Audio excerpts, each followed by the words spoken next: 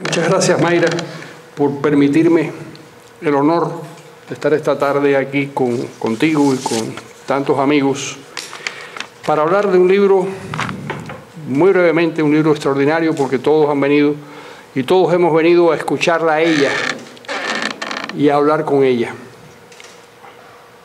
Gracias a esta sinagoga que nos, que nos acoge y que, y que siempre ha sido tan comprensiva y tan generosa con, los, los, cubanos escritores, por lo menos esta es la segunda vez que yo tengo la oportunidad de dirigirme a, a estos buenos amigos. Yo no había conocido a Mayra Landa hasta hoy. No la había conocido personalmente. Salvat, Manolo Salvat, me había hablado con mucho entusiasmo del libro, me lo había pasado, me había pasado con un detalle que despertó mi, mi atención y mi curiosidad, que es el episodio del San Luis, ese barco que llegó a Cuba con 936 personas y que luego fueron devueltos a Europa. Los cubanos se portaron extraordinariamente mal. Les habían cobrado el equivalente de 500 dólares a cada uno de los de las personas que venían en ese barco con unas visas para quedarse en el país y cuando llegaron al país, cuando llegaron a Cuba, revocaron esos permisos porque supuestamente eran, eh, habían sido concedidos ilegalmente. Parece que, que, la explicación era mucho más, más cruel y era que querían más dinero. No está claro que fue, por lo menos para mí todavía no está claro qué fue lo que pasó, es un tema que me interesa muchísimo, pero ese detalle de ese barco, ese, que se han hecho un par de películas y hay tantas cosas escritas, me llamó la atención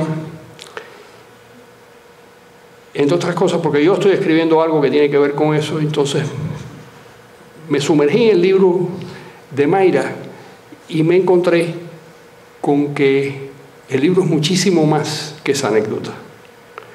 Es un libro conmovedor como es todo lo que tiene que ver con el holocausto. Yo creo que no hay ningún episodio en la historia de la modernidad si es que este empieza a partir del siglo XVIII. No hay nada parecido en, la cru en crueldad, en falta de compasión, no hay nada que exhiba lo peor de la naturaleza humana como, como el episodio del, del holocausto. Y está extraordinariamente bien escrito y descrito en la obra a base de unos personajes entrañables que uno no quiere olvidar y con un elemento muy interesante de suspense.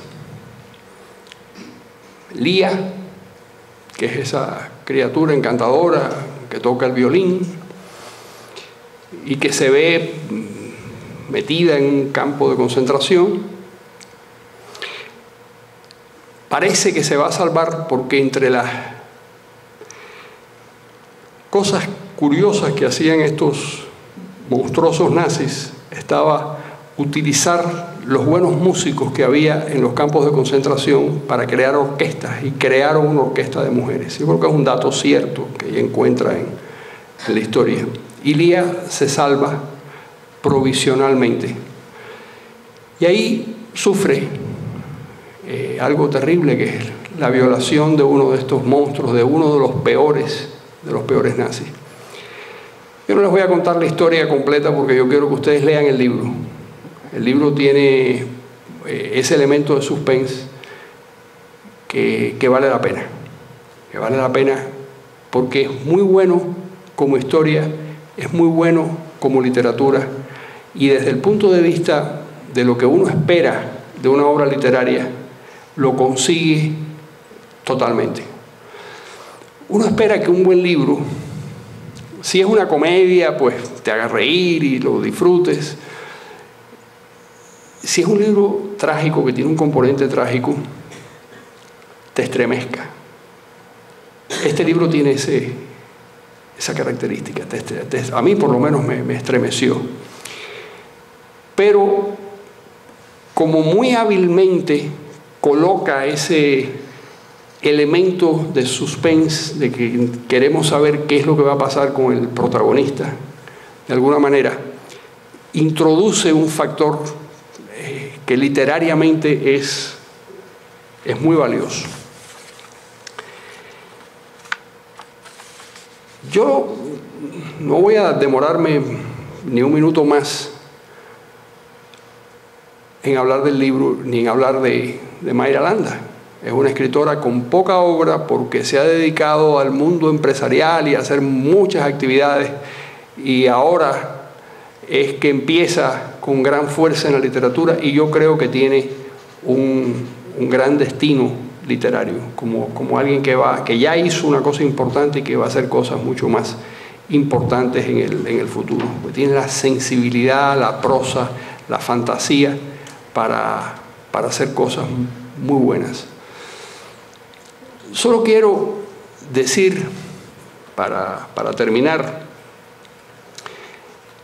que no podemos nunca creer en ese argumento de que hasta cuándo vamos a estar escribiendo sobre el holocausto.